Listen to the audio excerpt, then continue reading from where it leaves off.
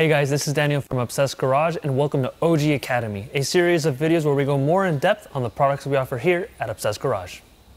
Today we're going to be talking about dilution ratios and our Pro Blend bottle proportioner.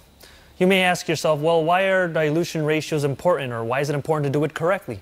Well, by doing it correctly, it actually eliminates product waste and not only that, you're able to use the products as intended by the manufacturer with the correct dilution ratios. So how do you calculate dilution ratios? Well, it's pretty simple.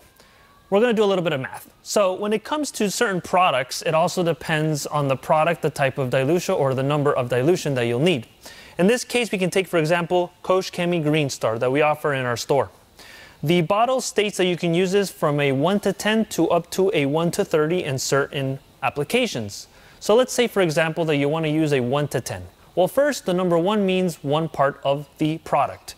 The other number means the parts of water that you'll need to make the mixture. So 1 to 10, all you do is add 1 and 10, which equals 11. The next step is to figure out what size bottle you're going to be diluting your product in. Let's take, for example, a 32 ounce bottle.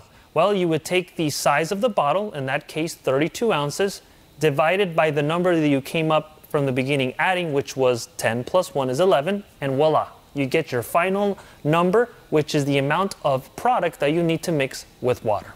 And it's as simple as that.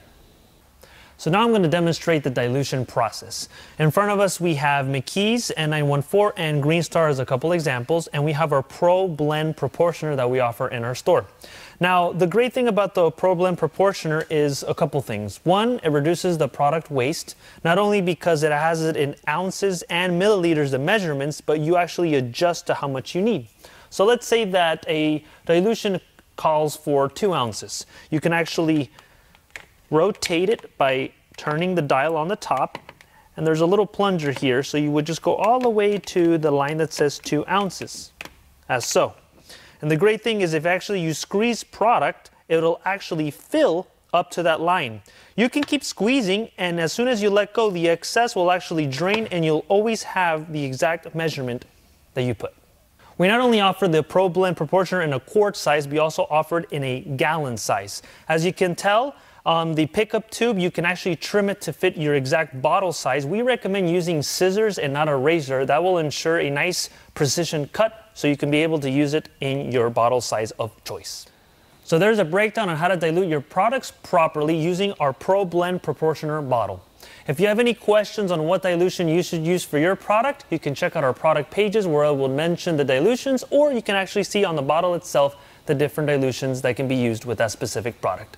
Thank you for tuning in as always. And if you have any suggestions or questions, feel free to leave them in the comments below or reach out to us at support at obsessedgarage.com.